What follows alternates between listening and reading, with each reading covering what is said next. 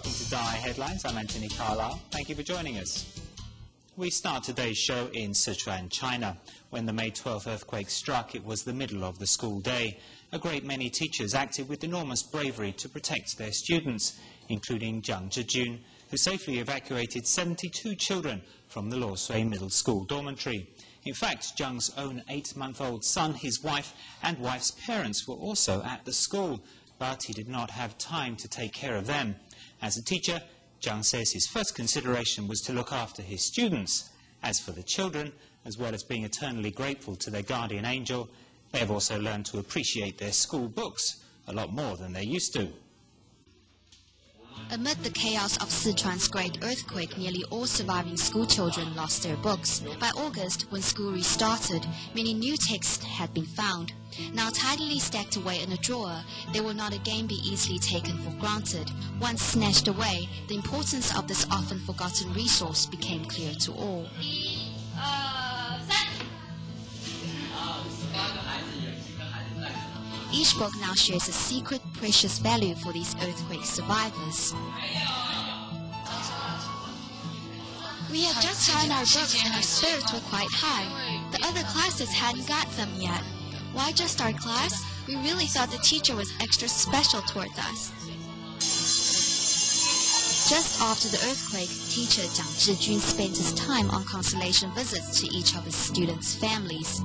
As Jiang met them, he sensed the children wanted to read, so he sought out a sponsor and then personally traveled to Chengdu to purchase books, spending two more days personally delivering them to each child. The children and their families were saying, Teacher, we don't have any books. What can we do? Teacher Jiang, how long before we start studying again?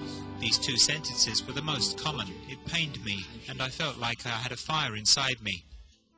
On the afternoon of May 12th, Jiang Zhijun was directing his students after their lunchtime nap when the ground started to shake.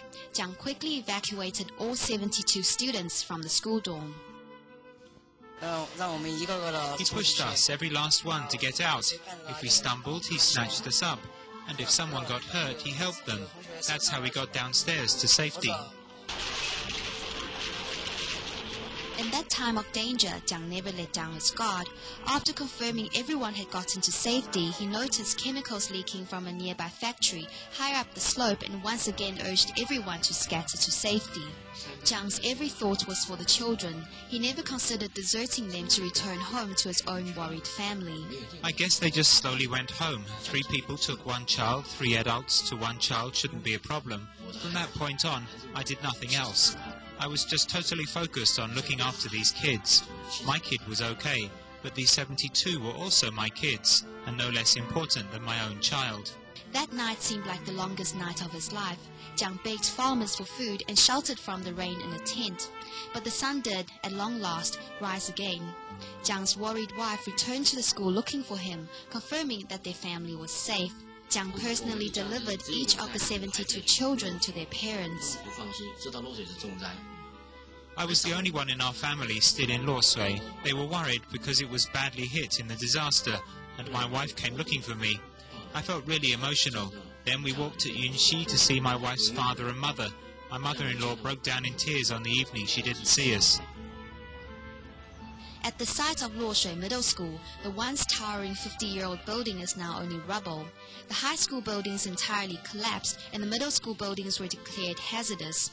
The famed 50-year-old school was gone, along with everyone's hope. Five months later, the event remains on every student's minds.